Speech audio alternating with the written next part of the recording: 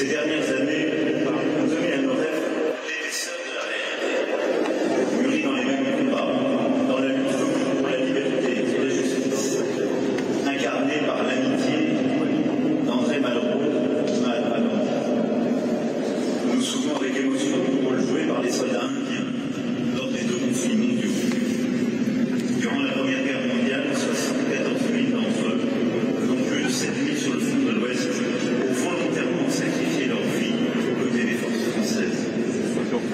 Et dans nos villages de la Somme et de l'Artois, à Péronne, Armentières, Neuf-Chapelle, ils sont tombés pour la paix, la démocratie, pour un ordre international fondé sur le. Ils défilaient, il y a plus de 100 ans sur les Champs-Élysées, comme ils ont défilé ce matin encore, accompagnés depuis le ciel par ces trois rafales.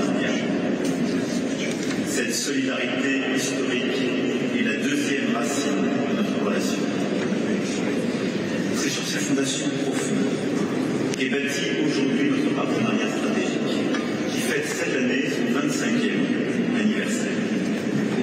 25 années qui n'ont cessé de montrer sa pertinence, de l'accroître même au fil des bouleversements contemporains. Et si nous avons joint nos forces au siècle dernier pour défendre sur le sol européen la liberté, la démocratie,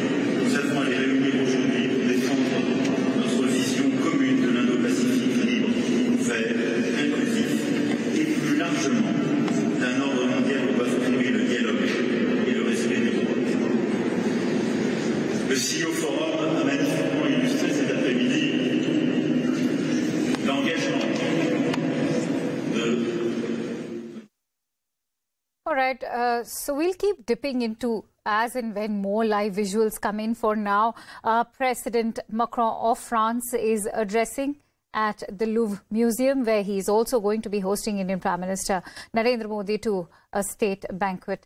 And this will indeed be quite the culminating event of this entire two day Power Pact visit of Prime Minister Narendra Modi. Um, Patikrit, if, if I may bring you in on comparisons between uh, France and the United States as partners to India, you know, there is a very uh, interesting anecdote that comes to my mind. In 2006, when Jacques Chirac came visiting to India, he made um, he sent out a message to then U.S. President uh, Mr. Bush, and he said that India has tremendous potential to become a partner and that it should not be boxed in a corner.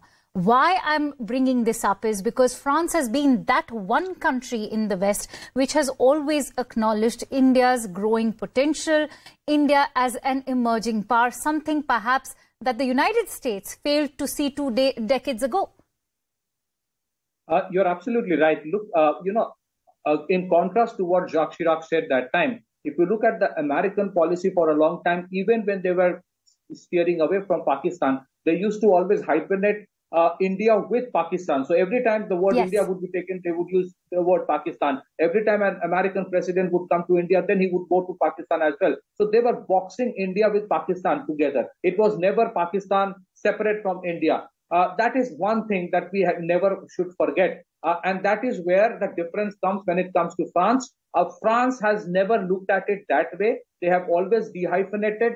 They have always taken a stand strongly in favor of India. You know, 25 years back, 1998, when India was not even that big an economy, they took a stand against the what the Europe, the rest of Europe was talking about, True. against what America was talking about, in terms of saying that no, we will not put sanctions on uh, India because of the nuclear test. So this is where a, a fundamental difference lies in because they were never boxing us with uh, Pakistan, which uh, the, the Americans did. See, for example, I must I would like to remind what happened in United States. It was entirely staged that there was a Wall Street journalist coming in, um, somebody from Pakistan origin, and asking a very directed question with an agenda. Uh, you don't see something like that happening in France. Neither the Indian journalist would do something talking, poking. All right, Patikrit, as we speak, in France. fact, uh, in the Louvre Museum, I can see parties from both the sides. Uh, are now raising a toast in honor of this historic meet in the Louvre Museum. Ladies and gentlemen,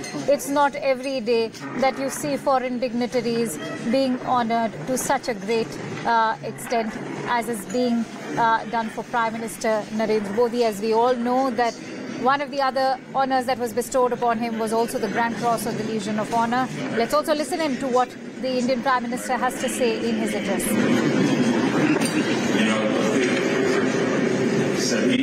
know,